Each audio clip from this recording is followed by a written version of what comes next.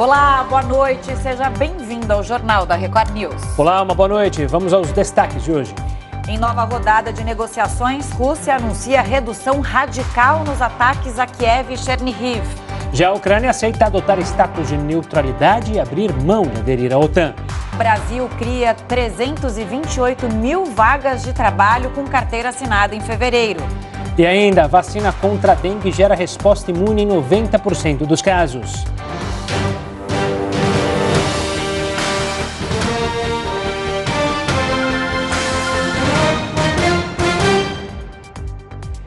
O presidente Bolsonaro disse que a mudança no comando da Petrobras é de rotina.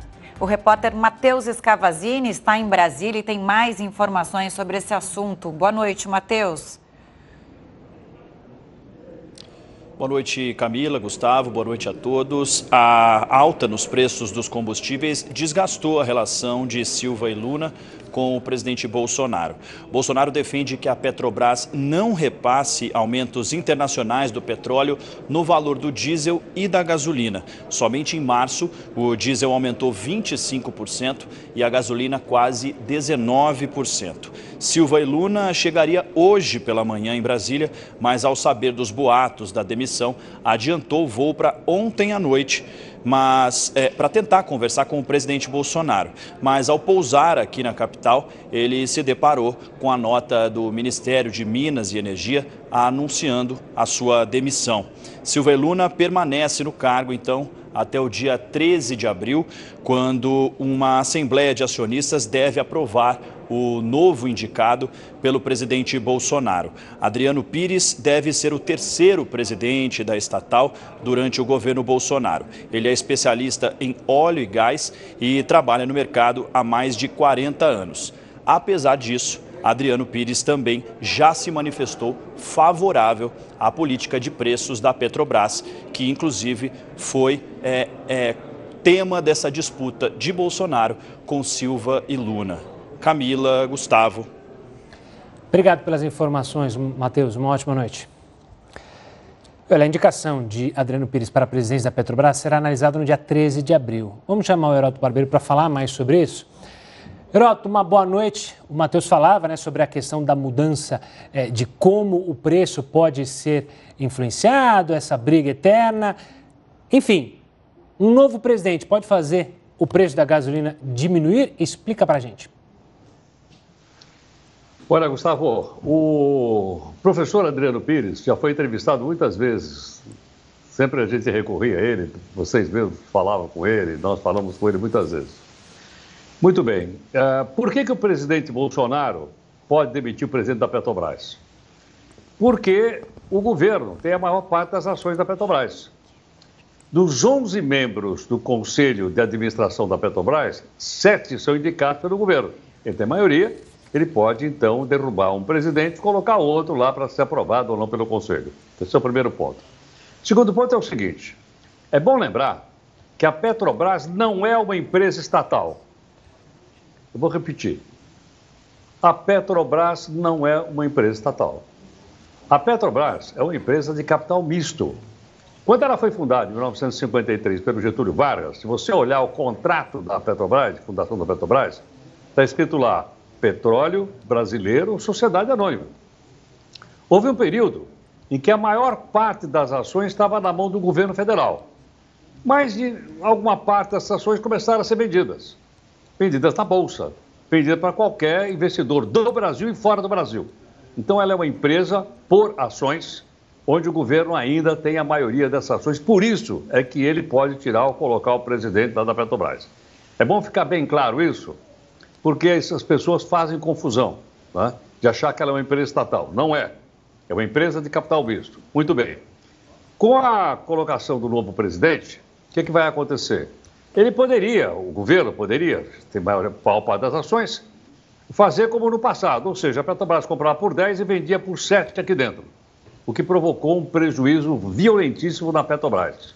Acontece que se a empresa fosse só do governo, não tem problema nenhum. O governo acertava as contas aqui. Mas a empresa não é só do governo.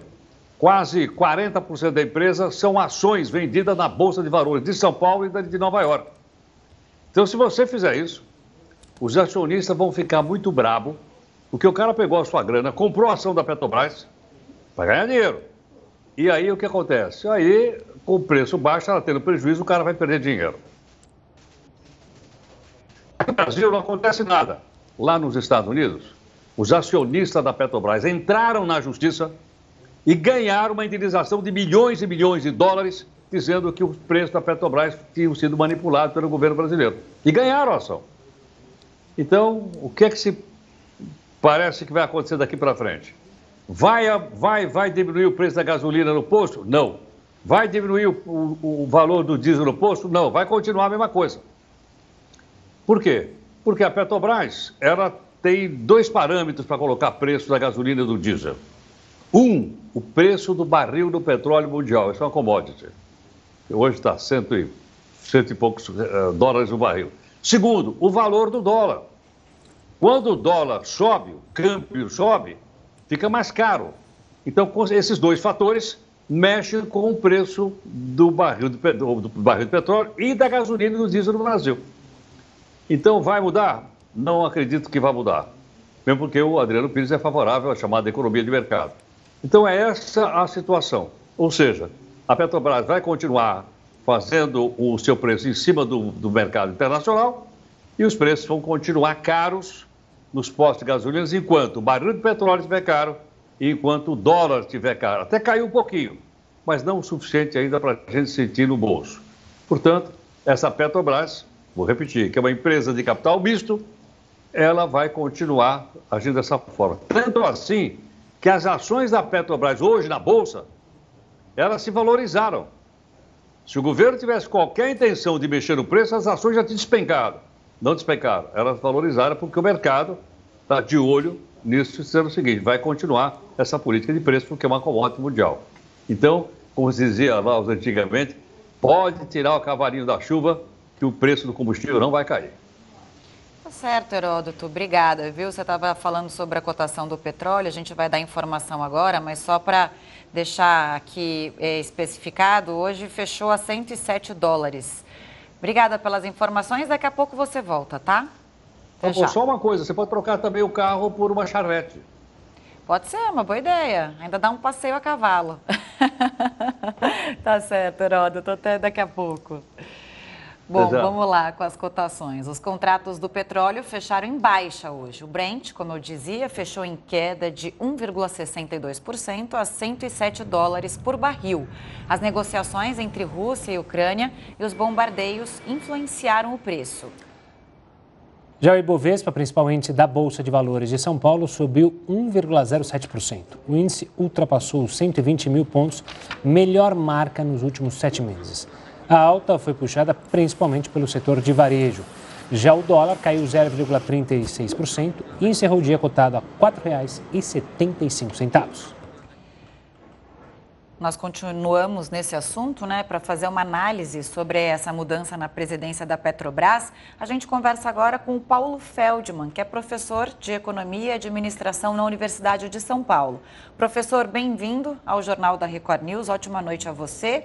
Queria começar já falando desse perfil da Petrobras que o Heródoto contava aqui para a gente.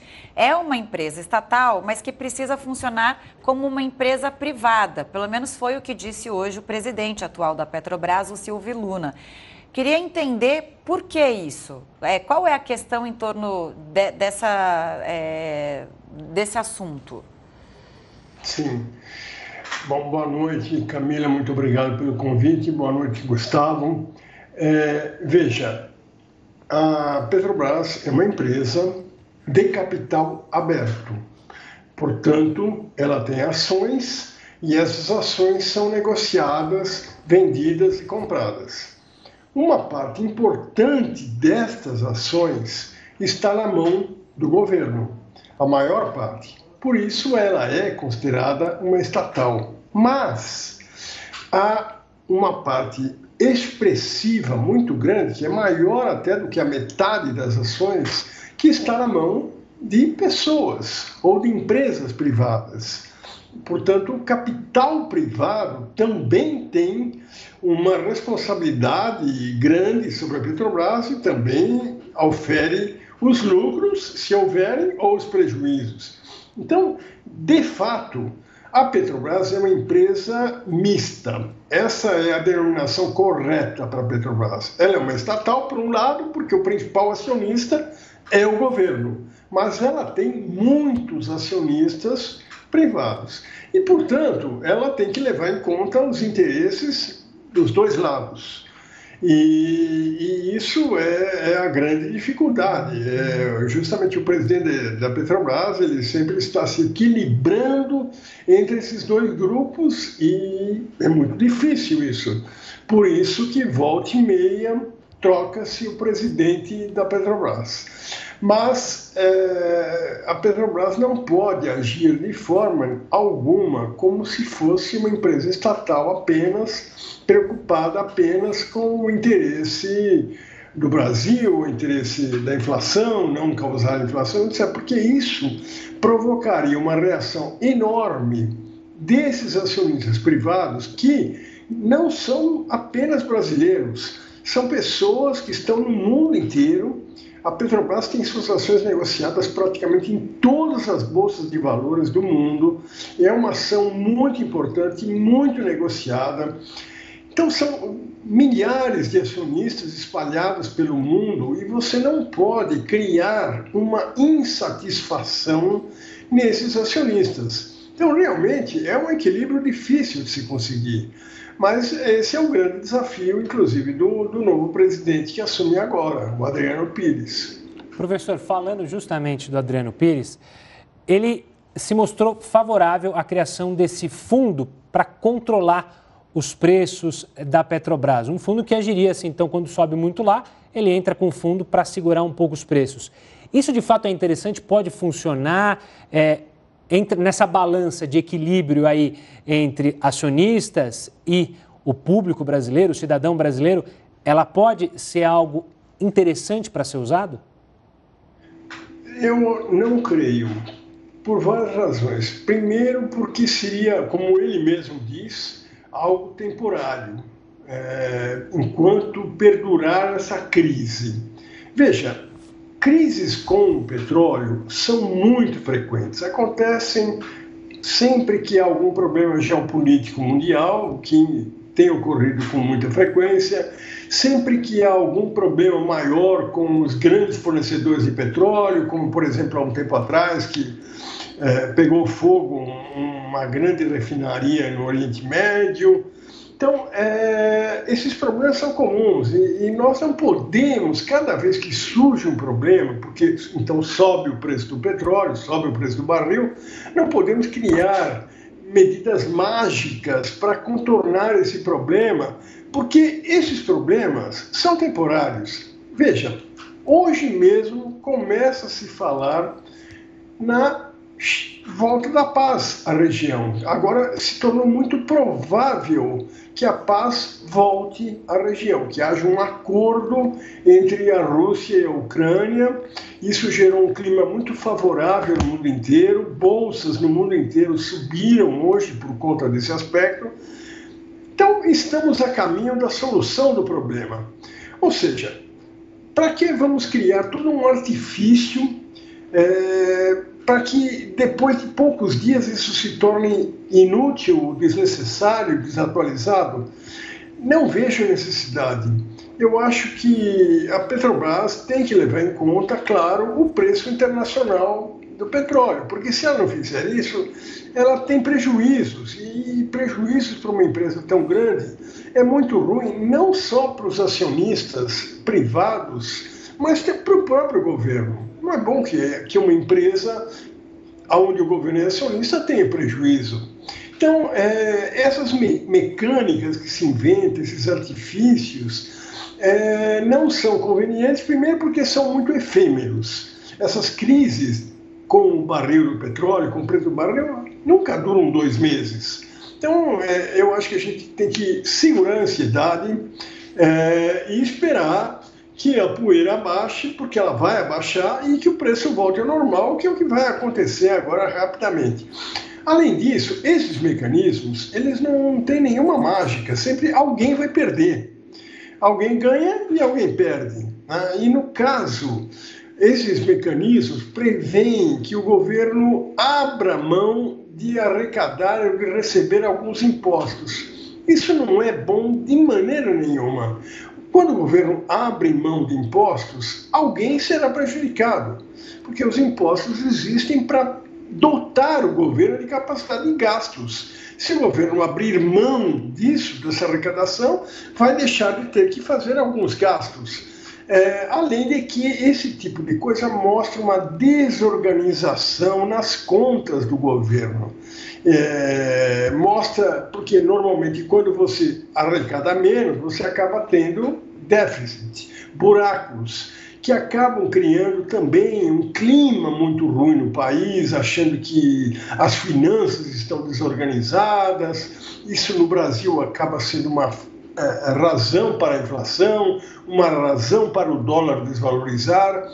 Então, eu não defendo mecanismos artificiais que vão durar um tempo muito pequeno é, para resolver um problema é, porque não, não, se justifica. Não se, é melhor que se tenha, se controle a ansiedade e se espere que o, o problema se resolva por si só, como está se resolvendo agora. E olha que a ansiedade é um problema do brasileiro, né? Segundo o OMS, o país é um dos que tem as maiores taxas de ansiedade. Não é à toa, né? Agora, professor, é bom lembrar também que a gente tem uma das maiores cargas tributárias né, do mundo.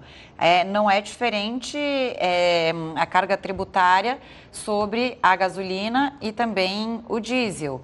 Quer dizer, não sei se, olhando para as contas, ok, é, realmente faz diferença em, em deixar de arrecadar mas que seria bom fazer uma compensação para que isso chegasse à população, seria muito bom, né? Veja, Camila, é, você tem razão. A carga tributária brasileira é muito alta e há realmente uma incidência grande de impostos sobre a gasolina, inclusive não só federais, mas também estaduais. O ICMS é um imposto importante que recai sobre a gasolina. Mas, mesmo assim, é, ele não é tão significativo. Você, os impostos, eles são aproximadamente 28 a 30, 32% do preço da gasolina, do litro de gasolina. Então, eles não são a maior parte é um valor significativo, mas não é a maior parte.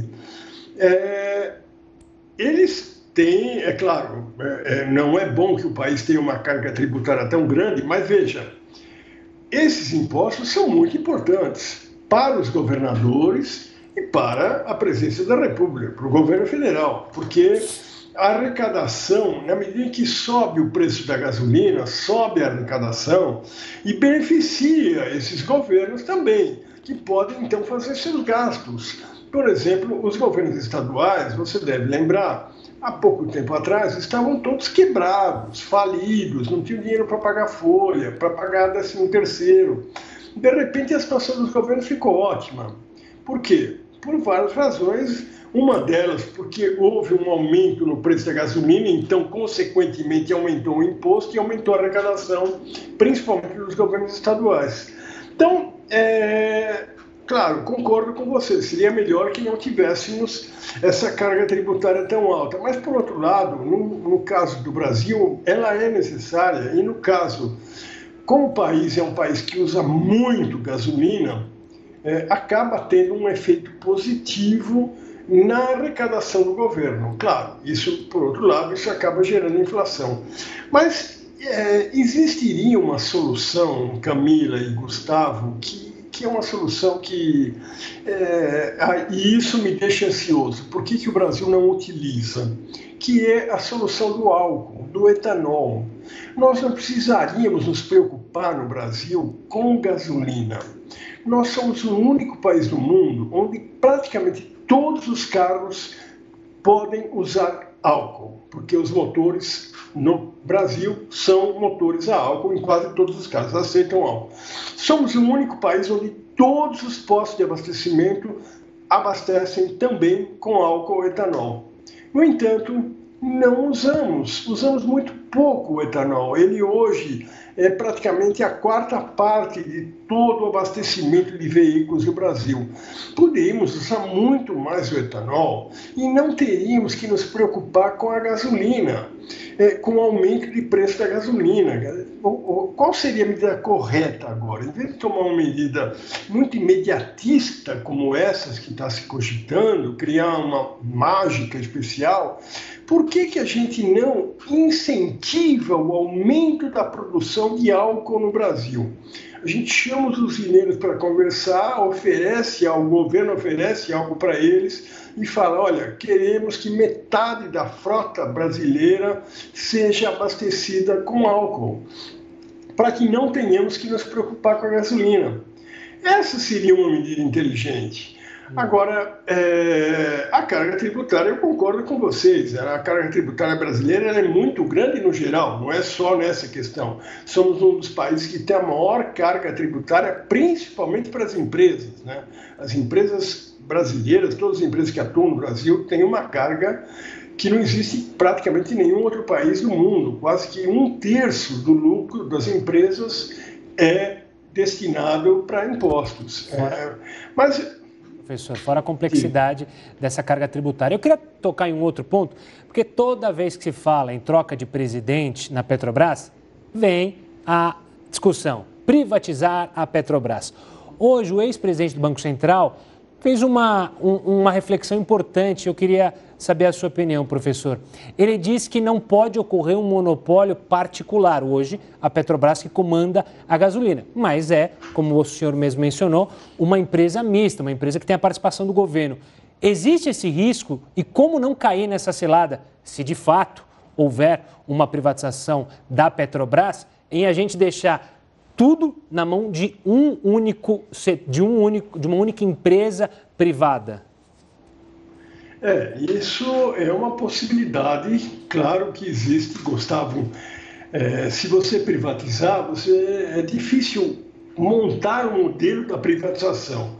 É, seria muito difícil recortar a Petrobras em várias e, e para que cada parte fosse para um uma empresa privada diferente. É muito difícil isso. O mais provável é que a Petrobras caia na mão de uma única empresa, então passaríamos de um monopólio do Estado para um monopólio privado. Mas a questão, tem uma questão importantíssima aí por trás disso, que é a seguinte: a Petrobras é uma empresa altamente estratégica para o Brasil. Você não pode privatizar uma empresa que, que tem um papel estratégico tão grande. Eu vou dar apenas um dado para você. O Brasil, hoje, é o oitavo maior produtor de petróleo do mundo. Eu fiz questão de confirmar agora, antes de falar aqui com vocês, nas revistas internacionais que cobrem a área de energia e petróleo. O Brasil é o oitavo maior produtor de petróleo. Isso é uma posição que o Brasil conseguiu nos últimos 10 anos. E isso por conta do, do, da bacia de Campos, há uns 15 anos, depois do, do pré-sal. O fato é que a Petrobras está por trás desse crescimento incrível de produção do petróleo do Brasil. Bom, é, como que a gente vai abrir mão de uma empresa tão importante quanto esta, que nos colocou na posição de um dos maiores países produtores de petróleo do mundo? Veja, estamos na frente do Irã, o Brasil é um grande consumidor também de petróleo. Nós somos o nono maior consumidor de petróleo. Então imagina, nós consumimos muito petróleo, temos que ter a nossa empresa que produza petróleo aqui. Então, é, eu acho um absurdo pensar na privatização da Petrobras. Eu não sou contra a privatização. Tem inúmeras empresas que devem e podem ser privatizadas e tivemos privatizações no passado muito bem sucedidas, mas tivemos também as que foram mal sucedidas. O Brasil tem uma larga história de privatização. Temos experiência, sabemos quando dá certo e quando não dá. No caso de uma empresa. Acho que perdemos o sinal do professor. Professor, deu uma pausa aí no, na, na nossa conexão, mas por favor, continue o raciocínio, foi rapidinho, já está de volta. Ah, sim. Ah, tá. Obrigado, desculpa. É, o que ocorre é que a Petrobras, então, ela colocou o país, o Brasil, numa situação de destaque entre os maiores produtores de petróleo do mundo. Isso para nós é muito importante porque nós somos também um dos maiores consumidores de petróleo. Então, precisamos ter a nossa produção aqui, temos como mérito da Petrobras. Veja, o caso do pré-sal. O pré-sal é resultado de exploração submarina, de obtenção do petróleo no fundo do mar. Isso é uma tecnologia que ninguém tem no mundo, só a Petrobras. É a empresa mais competente do mundo em exploração de petróleo em águas submarinas. Como que a gente vai abrir mão disso?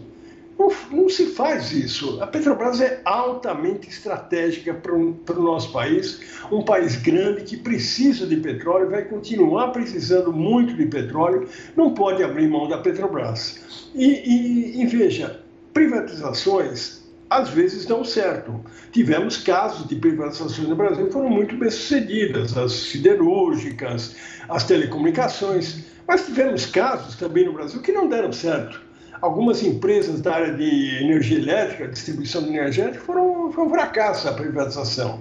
Então, é, tem que se tomar muito cuidado quando se privatiza. Não é qualquer empresa qualquer setor que pode ser privatizado.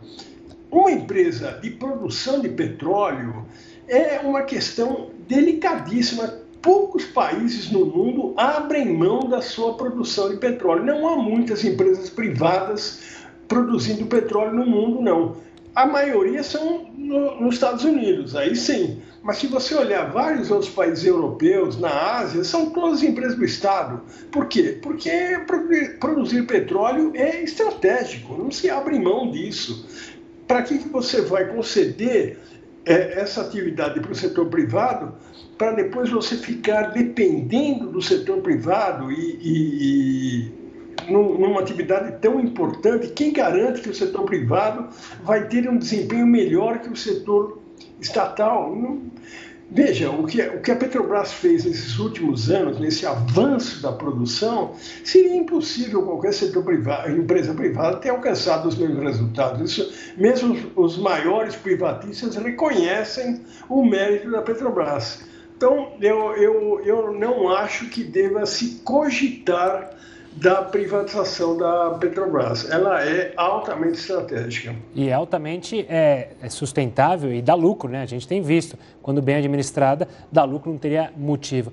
Professor, muito obrigado pela participação aqui e pela análise sobre essa mudança na Petrobras e os caminhos da empresa. Um forte abraço e até uma próxima. E eu que agradeço. Muito obrigado, Gustavo, Camila. Prazer é todo meu. Um grande abraço. Prazer é nosso. Boa noite. As delegações da Rússia e da Ucrânia se encontraram novamente nesta terça-feira. A Ucrânia aceitou ser neutra e a Rússia prometeu diminuir os ataques em algumas regiões.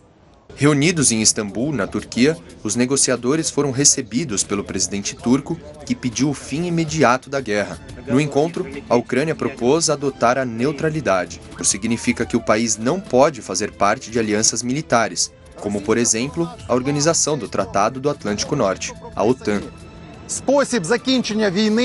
A Rússia anunciou que as tropas vão recuar e reduzir radicalmente os ataques em Kiev e Chernihiv, mas essa redução não significa um cessar-fogo. As propostas também incluiriam novas conversas durante um período de 15 anos sobre o futuro da Crimeia, ocupada pela Rússia em 2014. A ideia é que os dois países concordem em não usar forças armadas para resolver a questão nesse meio tempo. Enquanto a tentativa de negociação acontecia, os bombardeios continuaram.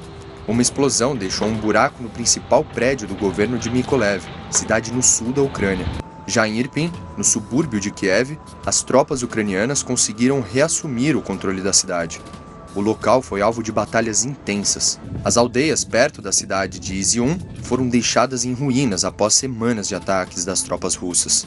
Cerca de 20 mil pessoas ainda estão presas na cidade, sem comida e sem comunicação.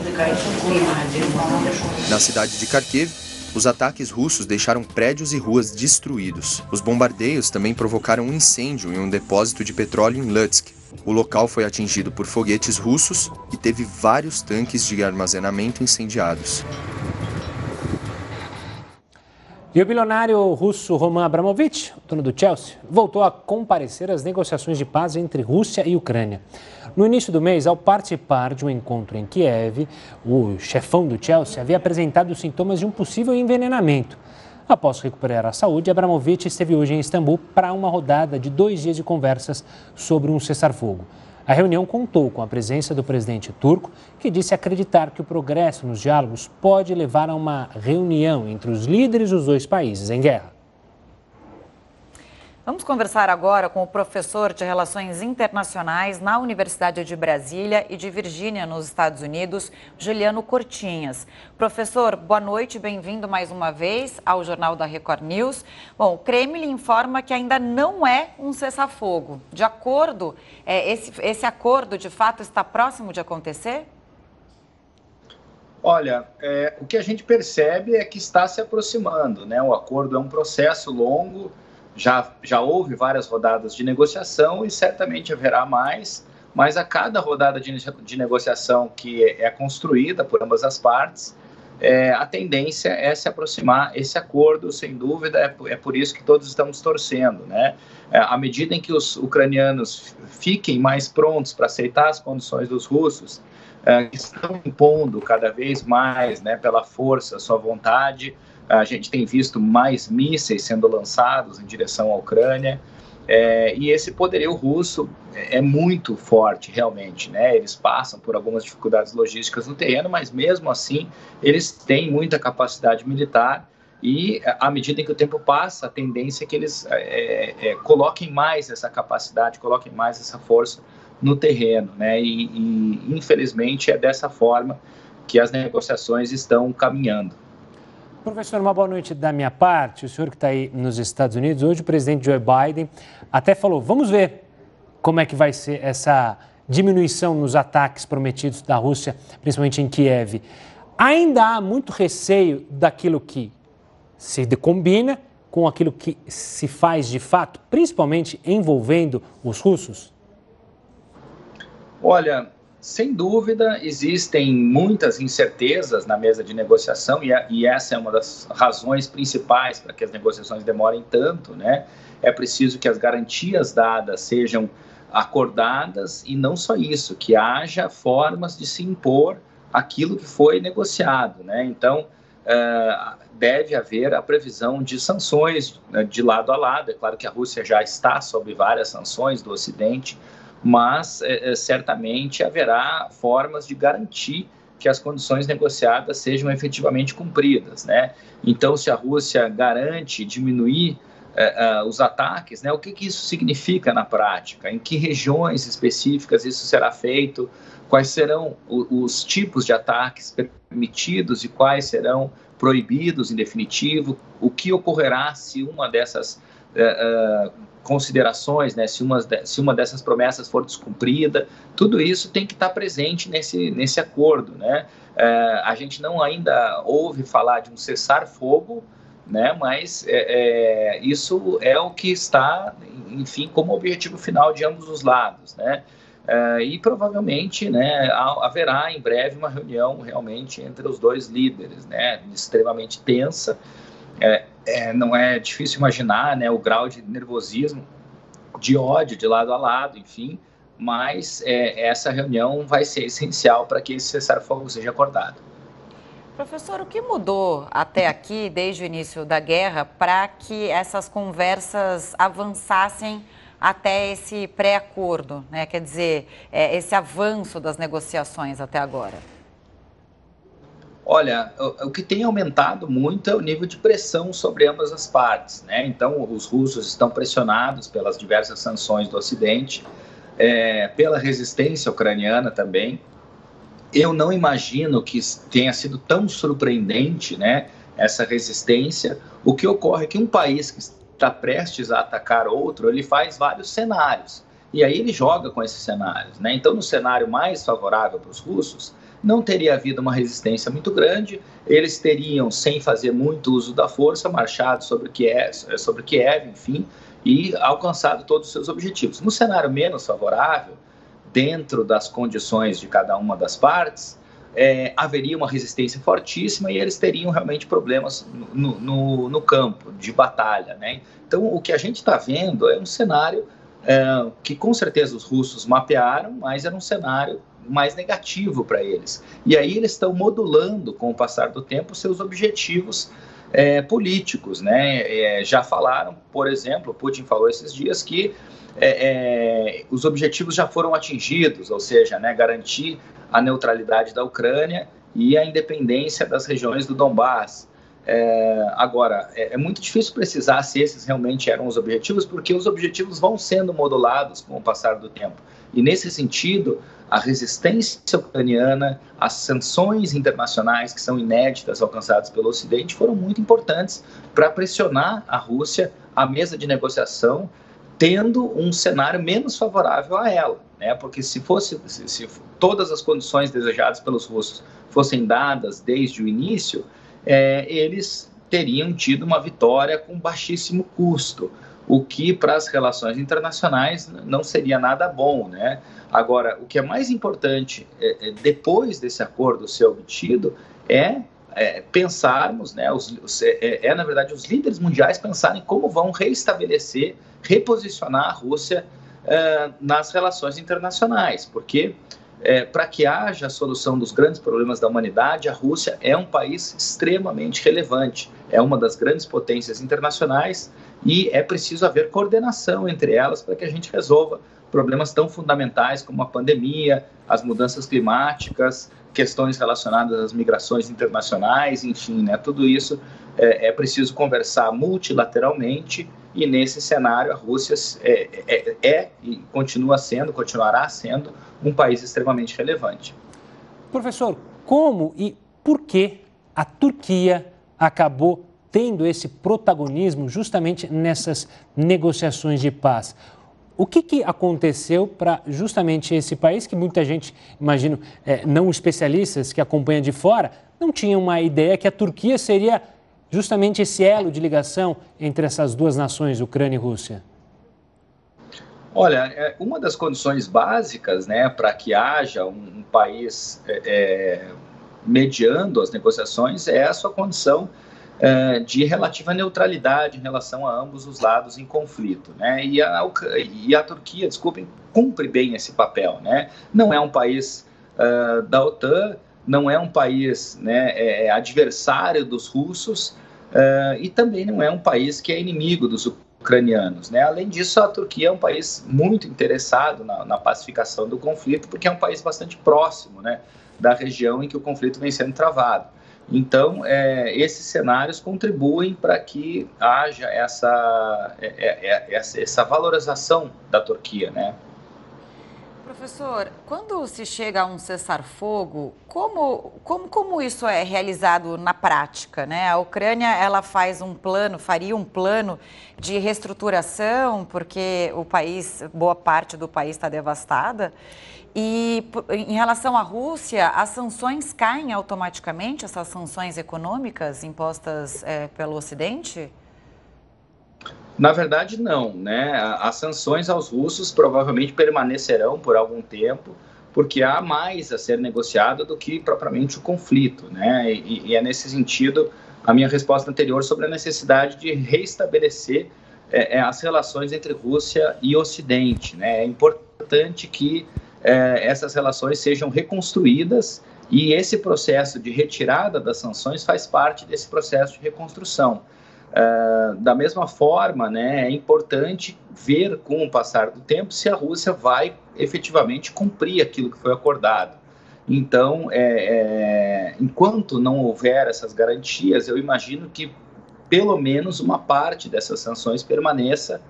É, é importante a gente observar que é, essas sanções não foram importa, impostas pela Ucrânia, foi uma coordenação de diversos países do mundo, liderados pelos Estados Unidos, e a tendência é que essas sanções continuem sendo impostas, é, ao menos uma parte dela, por algum tempo. Né? Então, é, não imagino que essa pressão toda sobre os russos, os russos vá ceder é, de uma hora para outra, acho que vai continuar ainda por algum tempo uma grande desconfiança vendo sobre é, com relação aos russos e uma grande desconfiança principalmente em relação ao Putin. Né? Enquanto, enquanto ele for líder da, da, da Rússia, haverá uma, uma rusga, vamos dizer assim, muito importante na relação entre ele e o Ocidente, a União Europeia, Estados Unidos uh, como principais agentes do Ocidente, né? Professor, uma da, a gente está vendo o Vladimir Putin, ele, uma, da, uma das últimas declarações dele para se chegar a um cessar-fogo, a um acordo, foi justamente sobre Mariupol, sobre a retirada das armas dos nacionalistas. Esse é um tipo de pedido complexo, porque como definir quem são os grupos nacionalistas que ele não quer que tenham armas? Essa não é o tipo de medida que você, na verdade, mais complica do que de fato quer chegar a uma paz? Olha, é muito, é, é, realmente essa é uma pergunta interessantíssima e de, e de, difícil resposta também, né? Porque, enfim, há muitos grupos atuando, é, grupos armados, alguns, né, de inclinações radicais, é, das mais diversas, tanto do lado ucraniano quanto também do lado russo, isso é importante dizer, né? É, o, o, Putin chegou a falar de desnazificação, enfim, há muitos grupos de, de, inclinação nazista do lado ucraniano, há alguns também do lado russo, é, e essa, esse jogo né, de ideologias, de radicalismos, é um jogo extremamente complexo na região. É uma região é, em que essas disputas são ideológicas, há questões religiosas, há questões étnicas, então há todo tipo de complexidade é, é, é, presente ali na região. E isso faz com que haja é, uma dificuldade muito grande, não só porque os acordos são feitos pelos grandes líderes, mas porque os grandes líderes, é, é, Zelensky, Putin no caso, precisam convencer todas aquelas forças internas a aceitar as condições que eles negociaram. Né? Do lado russo, isso é mais fácil, porque os russos estão trabalhando preponderantemente com o seu, o seu exército é, oficial, vamos dizer assim. Né? Mas há também, enfim, alguns grupos é, é, paramilitares, mercenários, atuando do lado dos russos. Né? Agora, é, é, a princípio, se, se for decretada a paz, eles se retiram do território ucraniano, ou ao menos da parte do território ucraniano é, que ficará né, sob controle do Zelensky. Isso é um pouco mais fácil de realizar, mas é muito difícil também do lado do Zelensky que ele controle os seus grupos mais radicais, tanto ideológica quanto etnicamente, né, radicais, para que eles não realizem ataques às regiões né, é, que os russos uh, tomarem e, e, que ficarem sob a, a liderança deles. Né? Então, há essas dificuldades e, há a possibilidade, inclusive, né, que a gente tenha a permanência de, de situações conflituosas, mesmo depois de a paz ser negociada. É uma possibilidade de guerra civil após entrar é, num suposto eventual acordo com a Rússia. Agora, é, o governo russo fala em desarmar justamente esses grupos para a própria Ucrânia ter uma ajuda humanitária. Quer dizer, ela, o país mesmo se ajudar nesse sentido de dar apoio aos, aos civis agora que tentam é, sair, fugir dos bombardeios, etc. Como o senhor vê essa questão é, do, do desarmamento da população nesse momento? E da ajuda humanitária que está difícil ali, né? Tem muita gente presa ainda, a gente viu ah, na reportagem em Mariupol. É, realmente, é, o Zelensky tomou algumas medidas que eu considero extremamente complicadas, né? E, e acho que não são medidas é, interessantes, né? No, mesmo no ambiente de pressão a, a, que ele estava submetido, como, por exemplo, distribuir armas à população civil, como, por exemplo, é, é, soltar prisioneiros, enfim, né, que tinham experiência de combate para que eles combatessem. Isso é muito complicado no cenário de conflito armado, porque é, ele coloca toda a sua população civil em risco. Né? À medida que ele arma a população que ele incentiva a população a resistir, né, é, é, ele passa a, a, a, ele passa a mensagem aos russos, aos combatentes russos, que quaisquer pessoas que estejam sob suas miras são inimigos. Né? Então, a, a diferença entre civis e militares no campo de batalha ela desaparece porque é, é, qualquer civil que esteja uh, do lado de lá, né, do, do, combate, ele pode estar armado, ele pode ter um coquetel molotov, enfim, ele pode vir contra mim. Então a tendência é aumentar muito as mortes de civis. Se o que se quer é proteger vidas, é, é, essa separação, inclusive o direito internacional né, dos conflitos armados, é, ele separa é, civis de militares, combatentes de não combatentes. E essa separação, essa distinção ficou muito complicada diante das medidas do Zelensky, né? O fato de ele não permitir que os homens saíssem do país também é muito complicado porque torna as famílias que estão saindo vulneráveis, né? Houve casos de agressões sexuais, é, é, a, a, ucranianas né, que estavam cruzando a fronteira, é, enfim, todo tipo de barbaridade, né, e, e essas medidas dos Zelensky que não contribuem, é, eu acho que não contribuíram muito para a resistência da Ucrânia, porque essa resistência se faz melhor né, por meio de forças bem treinadas, é, e também acabaram né, tornando a negociação de paz mais difícil. Então, colocar essas pessoas novamente na sociedade, no convívio da sociedade, retirar as armas dessas pessoas, tudo isso é muito difícil, né? Agora, é uma dificuldade que existe em qualquer cenário de pacificação nas relações internacionais. Sempre que há o chamado peace building, né, a construção da paz é, é, no final de um conflito armado, essa é uma das grandes eh, dificuldades que se tem, né? O que fazer com aquelas pessoas que pegaram em armas e que passaram é, é, a combatentes. Né? Então, isso é muito difícil. Por exemplo, na nossa fronteira, na Colômbia, essa é uma das grandes dificuldades que se tem. As Farc né, fizeram uma luta armada durante várias décadas, houve um acordo de paz. O que fazer com aquelas pessoas que cresceram na guerrilha, né, que cresceram combatendo, enfim, como colocá-las é, é dentro de uma normalidade social, é, fa fazer com que elas tenham empregos, enfim, com que elas convivam socialmente no estado de pacificação. Né? Então essa é uma dificuldade que nós temos muito próximo de nós, falamos pouco sobre isso, né? as dificuldades do processo de paz na Colômbia, mas lá na Ucrânia também vai ser muito complicado. Cortinhas, da última vez que você deu uma entrevista aqui ao Jornal da Record News, você trouxe muitas informações é, de uma especialista russa é, de um seminário que você tinha participado e tudo. Dessa vez você tem informações de como os russos ou os especialistas, cientistas políticos, receberam é, é, essa informação de avanço nas negociações entre Ucrânia e Rússia? Olha, na verdade, aí eu vou, eu vou ter que deixar passar, porque não conversei com nenhum deles. Eu estou até. Vocês devem estar observando que eu estou num quarto de hotel aqui, né? Eu estou é, é, na cidade de Nashville, a gente tem uma conferência de relações internacionais amanhã, em que haverá vários professores de vários países do mundo, né? É, e aí eu vou ter um contato maior com, com pessoas aí de, de, de diversos uh, cenários, enfim, um Sim. dos temas principais, claramente, vai ser esse conflito uh, entre Rússia e Ucrânia. Aí provavelmente eu vou ter mais, vou ter mais possibilidade de, de sentir um pouco como é que está a temperatura, né, em cada um dos países. Uh, mas por hora não, tá. não fiz hoje, ontem, nenhuma conversa, não. De repente você traz essas informações aqui ao Jornal da Record News, porque sempre é interessante saber o que o mundo está achando, né? Não só pelos olhos de, dos especialistas brasileiros. Mas obrigada pela entrevista mais uma vez. Bom seminário amanhã, bom trabalho e até uma próxima. Eu que agradeço muito pela oportunidade, sempre um prazer falar com vocês e sigo à disposição. Muito obrigado. Obrigado, professor.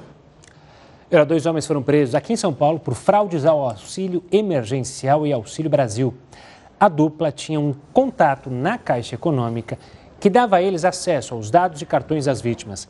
Em seguida, eles abriam conta, solicitavam um benefício e faziam o um saque do dinheiro. Os criminosos foram abordados próximo à agência da Caixa Econômica, na zona norte da capital paulista. Com eles foram encontrados diversos cartões em nomes de terceiros. A dupla confessou o crime e relatou que chegava a sacar até 40 mil reais por semana das contas do auxílio. Com a greve dos garis, desde a tarde de segunda-feira, as ruas do Rio de Janeiro acumularam lixo ao longo do dia. Moradores de várias regiões da cidade afirmaram que caminhões da companhia de limpeza não passaram para recolher o lixo. A Conlurb informa que, por conta da greve ilegal dos garis, está com um plano de contingência em andamento para evitar exatamente prejuízos à população do Rio de Janeiro. E lembra que a Justiça do Trabalho determinou o pagamento de uma multa diária de 200 mil reais. Uma nova audiência de conciliação vai ser feita entre a Conlurb e o sindicato amanhã. Idosos com 70 anos ou mais já podem tomar a quarta dose contra a Covid-19 em São Paulo. Para receber este reforço, é necessário ter recebido a terceira dose há pelo menos quatro meses. Mais de 450, mais de 450 mil idosos já estão aptos para a segunda dose de reforço. A imunização ocorre em todas as UBSs e AMAs, além dos megapostos e drive-thrus. A Agência de Segurança da Saúde do Reino Unido está monitorando possíveis misturas de subvariantes da Omicron. A recombinação acontece quando um paciente é infectado com duas ou mais variantes ao mesmo tempo. Os médicos e cientistas estudam a chance das combinações das subvariantes BA1 e BA2 tornarem maior a transmissão do vírus. A fusão das cepas foi nomeada de XZ. A, a, agência inglesa afirma que 637 casos já foram confirmados. Olha só, a justiça inglesa vai retomar a análise da ação sobre a tragédia de Mariana. Vamos chamar o Heródoto Barbeiro, que está acompanhando isso, e vai contar para a gente. Heródoto, já são mais de sete anos desde o desastre e até agora, nenhuma indenização, né? Olha, uh, você sabe que eu participei pela manhã hoje de um, de um encontro em que as empresas presentes falavam de ESG. A moda agora é ESG, que é meio ambiente, sustentabilidade e governança, né? traduzindo para o português. Ah, todo mundo é pela, pela meio ambiente, todo mundo é etc. Aí eu chego aqui à noite e vejo essa história da, da tragédia de Mariana. Ela aconteceu há sete anos. Ela matou 18 pessoas ela acabou com o meio ambiente eh, e acabou com o Rio Doce. Até hoje o rio está completamente arrebentado. E foi o maior desastre ecológico acontecido no Brasil. Olha, nada foi tão grave contra a natureza no Brasil de uma única vez do que isso que a gente está mostrando aí agora. Ou seja, aquelas lagoas de contenção de dejetos da mineração do, do minério de ferro, elas então romperam as barragens e ela simplesmente arrasou tudo que encontrou pela frente, cidade, tudo mais, é, sítios históricos, igrejas, levou tudo. E arrasou, portanto, com uma parte do estado de Minas Gerais e uma parte também do estado do Espírito Santo.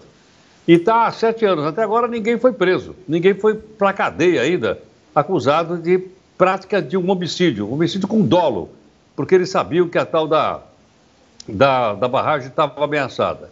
Interessante que a empresa proprietária dessa barragem, a Samarco, ela tem dois acionistas, são as duas maiores empresas de mineração de ferro do mundo. Uma é a Vale, que é brasileira, e a outra é a Billington, que é uma australiana inglesa. Vai fazer isso lá na Inglaterra, você vai ver o que acontece. Agora aqui, nós estamos há sete anos esperando que haja uma decisão da Justiça e que haja uma indenização como essa. Ah, o cálculo dessa indenização está aproximadamente em 155 bilhões de reais. 155 bilhões de reais. Mas sabe o que, é que os ambientalistas dizem? Dizem que o desastre ecológico no Rio Doce e no mar foi de tal ordem que nem daqui 100 anos a gente vai recuperar a natureza que nós destruímos com essa tal barragem aí. Interessante que em outros países do mundo, quando acontece um, um, um desastre como esse, a justiça é rapidíssima.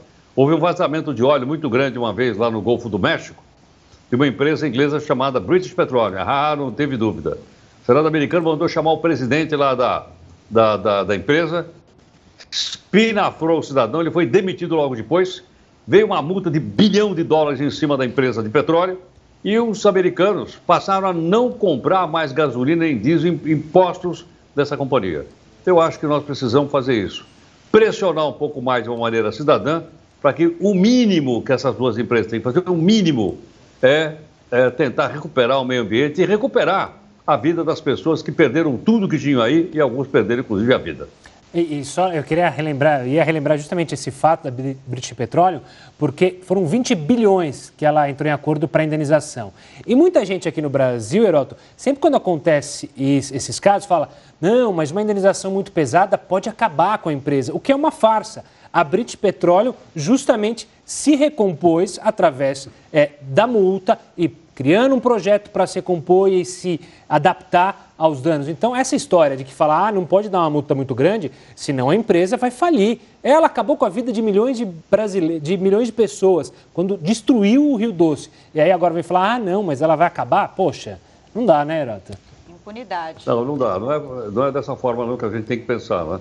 Eu acho que a empresa tem que se responsabilizar. E volto a dizer, aquele, aquela moda do ESG está em tudo quanto é lugar, tudo quanto é noticiário econômico, por aí e tal, só se fala de ESG. Eu queria sugerir para esse pessoal dar uma olhada aí no caso de Mariana. É, tem Boa. que ser na prática, né? Não adianta da boca para fora. Tem que ser uma preocupação mesmo, né? É o que você falou, nem 100 anos vão ser suficientes para é, recuperar esses prejuízos ambientais. Uma tristeza e é o que eu tinha falado, né? Impunidade permanece. Heroto, a gente volta a se falar amanhã, combinado?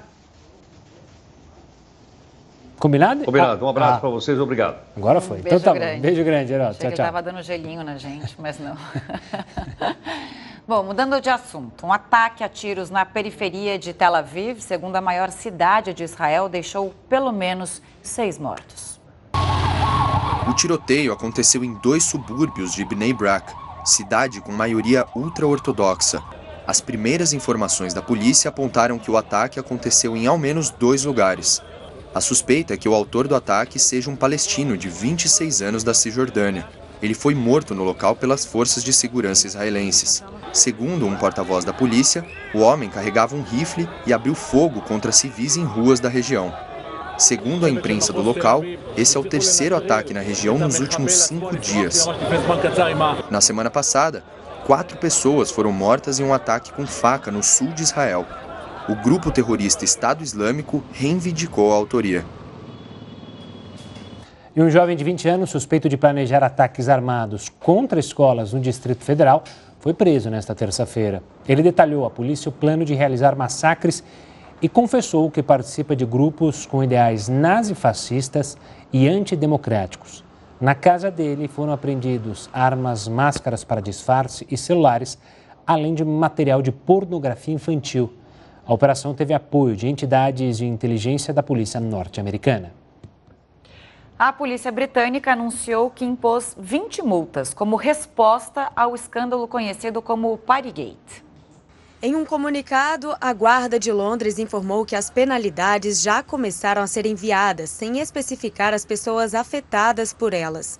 Em janeiro, a polícia começou a investigar uma sequência de encontros organizados em Downing Street, sede do governo britânico, entre 2020 e 2021. No período, a Inglaterra estava sob lockdown para combater a propagação da Covid-19. Os eventos teriam contado com a presença de funcionários do gabinete e do primeiro-ministro Boris Johnson. As revelações que incluem a realização de festas no jardim de verão do edifício e reuniões de Natal abalaram a popularidade do premier mas ele conseguiu superar a crise. Na ocasião, Boris se desculpou pela polêmica apelidada de Parigate e negou que renunciaria ao cargo para aguardar a conclusão das investigações. Apesar disso, com o novo relatório da polícia que aponta a violação de regras por membros do governo britânico, a imagem do primeiro-ministro pode ser mais uma vez fragilizada. Segundo um porta-voz do premier, Boris não recebeu nenhuma notificação de multa.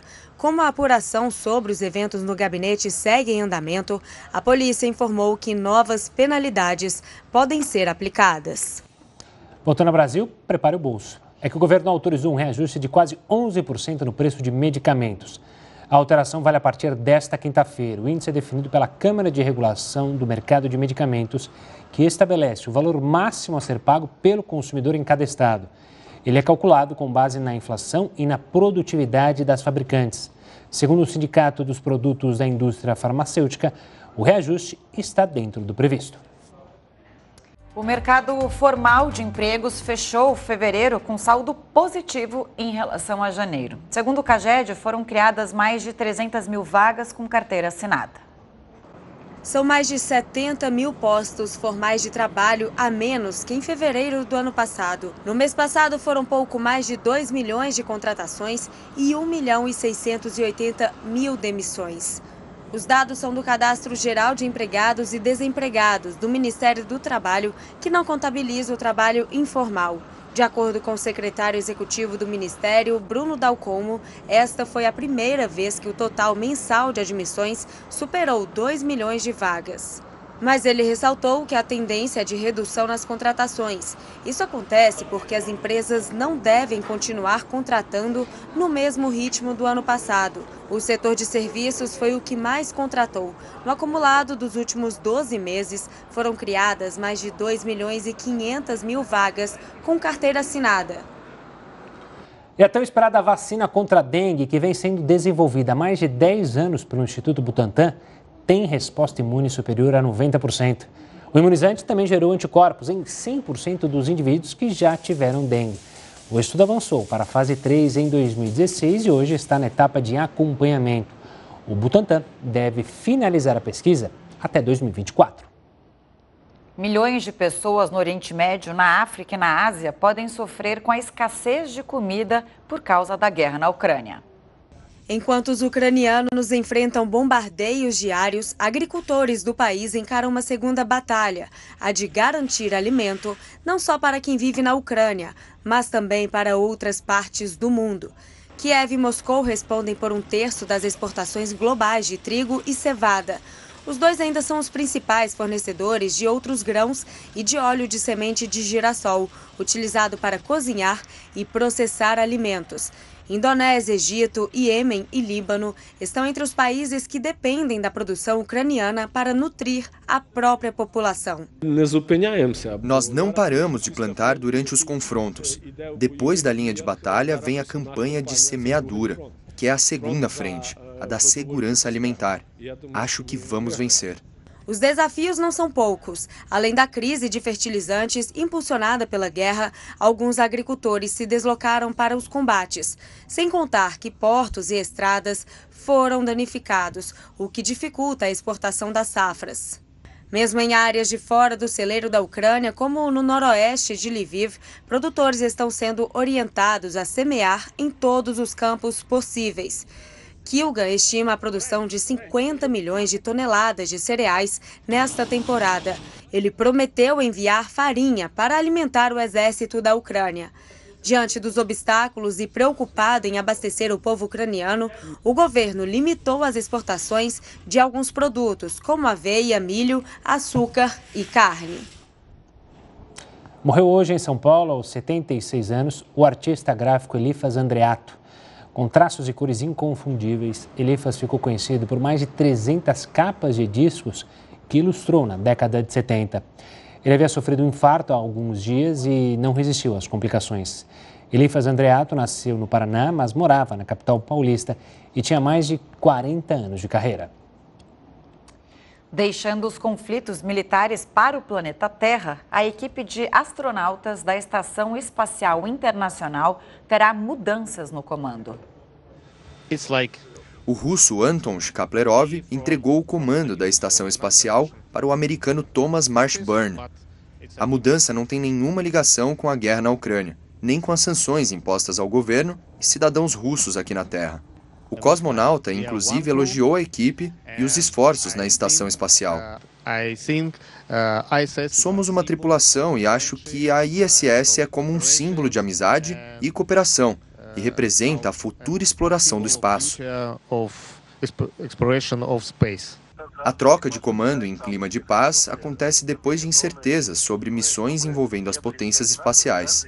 Por causa do conflito na Ucrânia, missões foram canceladas a Agência Espacial Europeia suspendeu por tempo indeterminado as expedições que faria em Marte em parceria com a Rússia. E a Rainha Elizabeth II participou do primeiro evento público em quase seis meses.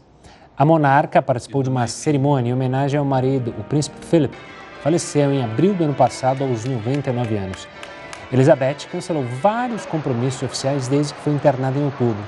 O motivo da passagem no hospital não foi revelado. Jornal da Record News fica por aqui. Muito obrigada pela companhia. Tenha uma ótima noite. A gente se vê amanhã. Tchau, tchau.